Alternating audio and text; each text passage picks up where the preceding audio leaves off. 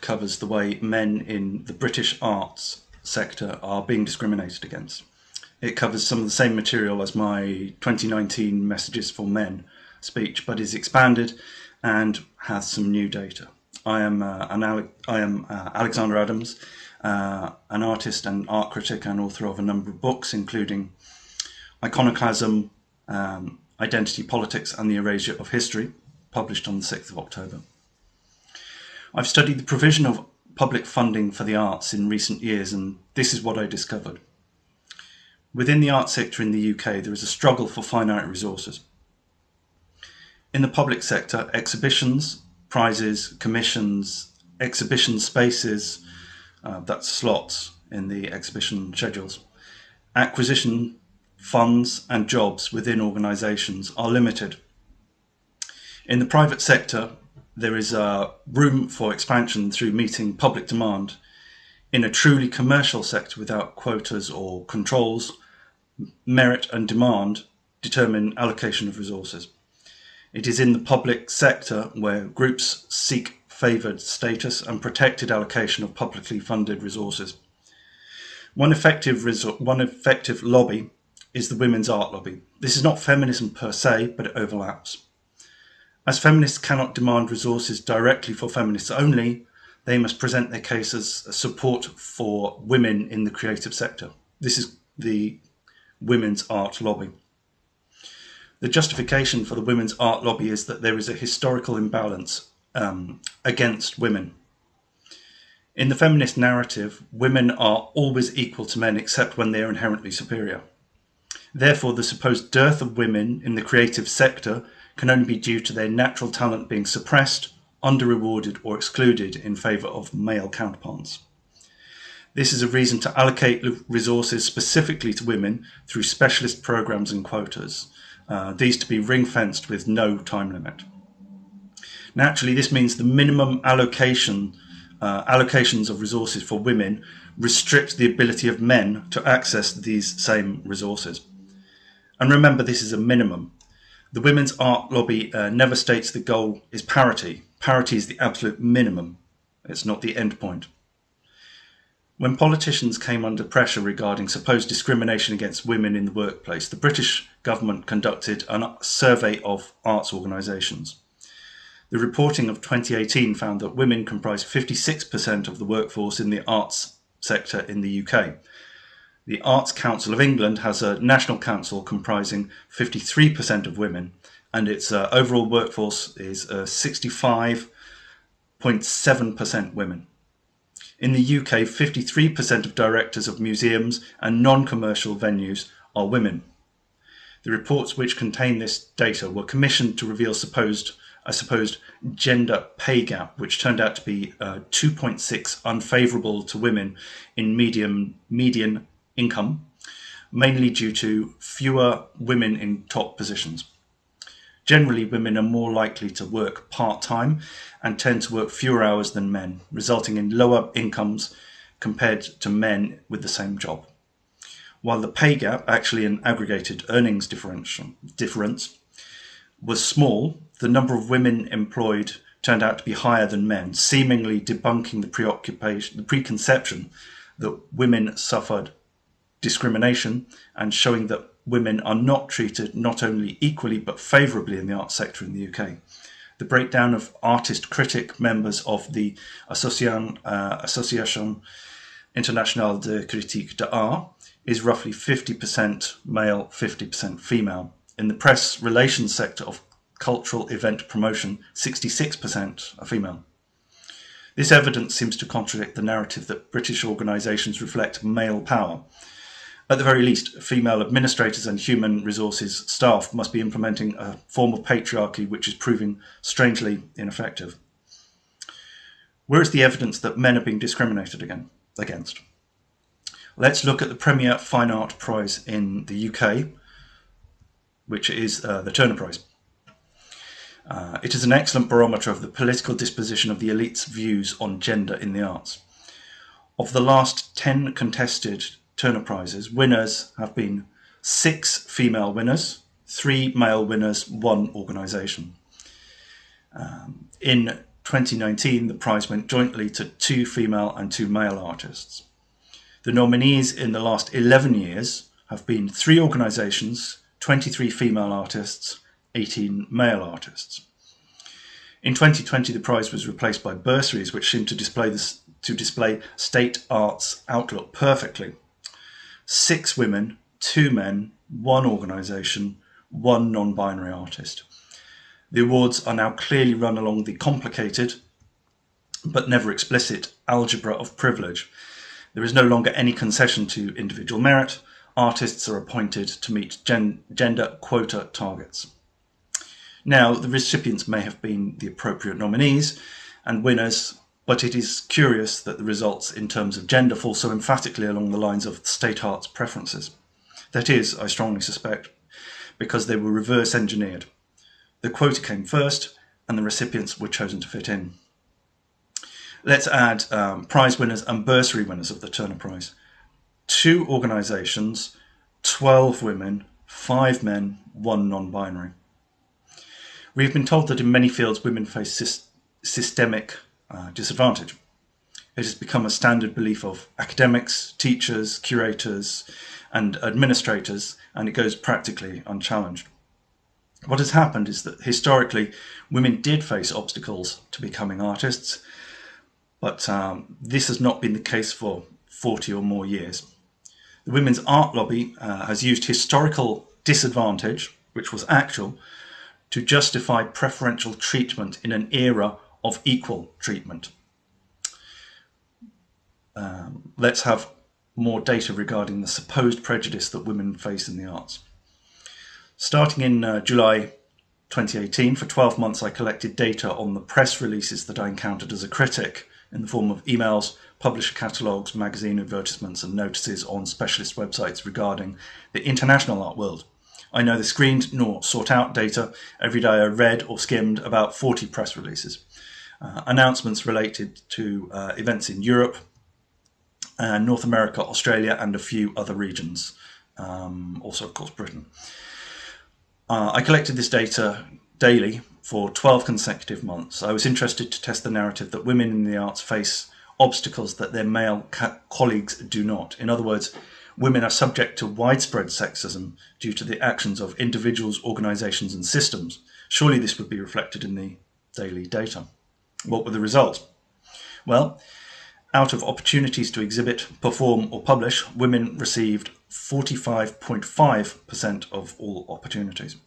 This conforms with estimates that women form 40 to 45% of, of practicing artists. In other words, women received exactly the amount of opportunities that we would expect. What about appointments? Out of the appointments announced, 63% uh, of 63% were of women. So women were at a significantly were significantly favoured over men in results. Of prizes and awards, 69% went to women, and of course these are appointments and prizes which are at a high level. So we can't claim that um, uh, that these um, appointments are at junior positions, sort of interns or you know sort of um, museum invigilators or whatever. These are fairly high level positions, and the prizes that are announced are of uh, major prizes with um, significant rewards and kudos. Far from facing prejudice, women face complete fairness or favourable treatment. This means that men face significant structural disadvantages in the public sector of the fine arts. So let's look at the summaries. One, women are appointed uh, to a greater number of permanent positions than men in public and private venues and arts organisations and to more temporary positions such as organisers, directors and curators of events. This strongly suggests that there is a bias against men in the hiring and promotion of individuals for permanent and temporary positions at the levels which prompt press announcements. If, as it seems, A, women are entering existing positions at a greater rate than men, and B, they are entering at a greater rate than that of the increase of positions in the field overall, then the field is becoming increasingly hostile to men, uh, dominated by women Two, uh, female artists win more prizes than men. This seems clear. All other things being equal, a woman art, a female artist is two to three times more likely than a male artist to receive uh, an award or prize. Three, Women are not discriminated against in opportunities in arts events. Four, single gender events significantly favour female artists by providing more opportunities for female artists than for male artists. I looked at events that have been programmed uh, to promote art by artists who shared a single gender. I'm using here gender as synonymous with sex. That is, events that were deliberately organised on a selection criterion of participants having a common gender. I found four specifically male only events. These were mainly awareness raising events, some connected to men's health. For female only events, I found 83. The data above suggests that uh, women are not discriminated against in the contemporary fine arts. In some areas, notably appointments and prizes and awards, women are noticeably advantaged. The existence of bodies such as the Society of Women Artists and other organisations, prizes, and events dedicated to women artists contrasts with the fact that there are no male only art societies which exclude women, uh, to my knowledge. I, I mean, that's not that uh, it's not part of their constitution. This disadvantaged narrative that women are systemically uh, discriminated against is a story that was founded on historical truth but has not been true for uh, at least 40 years. Yet people, by no means all of them, women or feminists, repeat this narrative because it has not been because they have not considered the facts as they are today. Additionally, there is a fear that any concession to uh, the truth that there is no longer systemic bias against women artists in the West. I'm not saying that there is no systemic bias against women uh, outside of the West. I think this probably does exist. Uh, will cause a relapse, a period of retrenchment when the forces of misogyny and tradition will erode the gains made by equal rights campaigners and pioneering female artists. That is why fem- feminists will never give up their campaign for preferential treatment. Uh, if the foundational story of inequality and oppression, the noble lie, is relinquished, there is no longer any need for feminism in the West. Looking at the figures stated in the 2018 report and the figures of this survey, it is clear that women are numerous, powerful, and um, uh, in high positions in the art world. It should be noted that many of the appointments of women in the survey data are to very senior positions, such as directors, board members, and senior curators. Women are increasingly dominating the administration of arts. All arts organisations have um, uh, gender mixed hierarchies, and there is no opportunity for systemic bias against women, um, certainly in any of the organisations that I've encountered. Uh, I think that if such organisations did exist, they would have been highlighted by feminists and we'd know very much more about them, but I've never seen uh, any uh, evidence of this. There are potential causes of female artist advantage. These figures uh, show how show certain trends, and we can draw tentative conclusions from what we see. These trends are the result of the arts becoming a field for overt political activism, attracting and rewarding individuals motivated by social and political concerns, especially in social projects, workshops, collectivist action, and other collaborative activities. This is caused by arts organisations, venues, funding organisations, national government and local councils providing clear incentives for political action in the form of quota programming, statistical targets for demographic characteristics of staff, producers, and consumers, uh, diversity programs, community outreach, addressing minority social issues and other non art issues, i.e., not artistic merit. Staff and venues need to meet these targets to retain income artists are rewarded with money, opportunity, and status for fulfilling these uh, quotas. Achieving certain numerical targets with regard to female artists, administrators, and visitors is a clear central part of these programs, and it's um, part of mission statements. Uh, you'll find this on the uh, Arts Council website. You, you go to um, local councils, and they will say that um, inclusion, specifically inclusion of women, um, is uh, one of their priorities, and so uh, you can see how this uh, filters down to the uh, behaviour of people in organisations, in commissioning organisations and venue management. Aside from the overt and covert institutional drive to increase the number of women in the arts, we must consider attitudes of individuals in the arts. Many of these are women. Almost all of them are university educated in the humanities, which are largely pro feminist in our in, uh, approach. Additionally, we have the narrative of female disempowerment and underrepresentation, which is promulgated by feminists and spread very widely. These new entrants into the arts fields have absorbed not only university teachings that women are disadvantaged, but also they have accepted the wider social narrative of feminism. Thus, when these individuals see a female candidate applying for a job or an exhibition, their natural impulse is to do their bit for equality by favouring that woman over uh, a male competitor. They want to redress uh, perceived imbalance, both current and historical. These actions by competition juries, interview panels, funding committees, and advisory groups are independent and oblivious of one another but their cumulative result is consistently dis, uh, advantaging women over men. So, in an, er- in an era when women have not only gained parity but superiority over women, uh, superiority over men, sorry, I'll take that again. So, in an era when women have not only gained parity but superiority over men in some aspects of the art, arts, the disadvantage narrative combined with ignorance about male to female ratios in the arts is hyper-privileging women.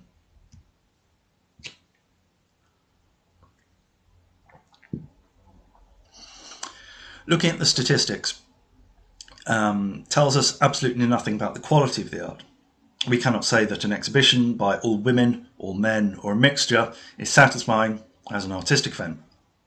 Likewise, we cannot say that any man or woman in the abstract is worthy of a prize or stipend we cannot say that roles of administrators or artists are better filled by women or men generally, only that certain jobs would be best given to certain candidates of either gender.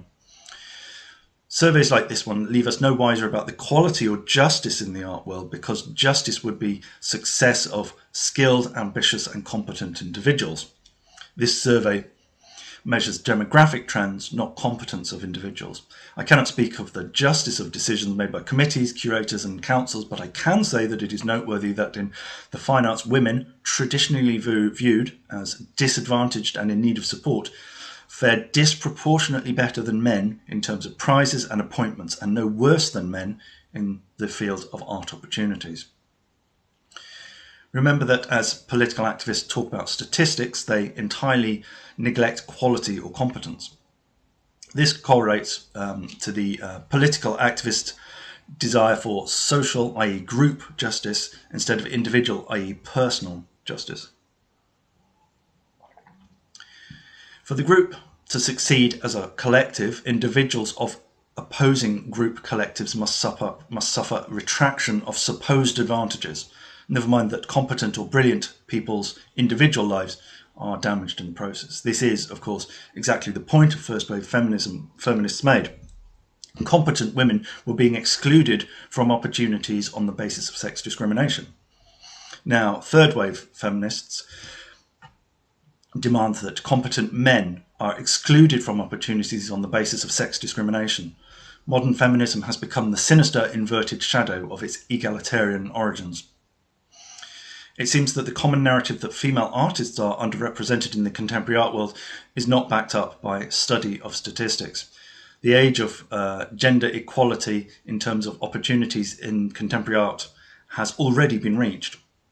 Therefore, there is no just justification for preferential treatment for women artists, particularly in the forms of scholarships, awards, prizes, exhibitions, and acquisitions specifically reserved only for female applicants private associations in the form of societies, clubs, and so forth should be able to function and to discriminate on whatever basis they agree, including men's clubs excluding women and women's clubs excluding men. But they should not receive state support or sanction, and they do not uh, deserve public encouragement. This is my position.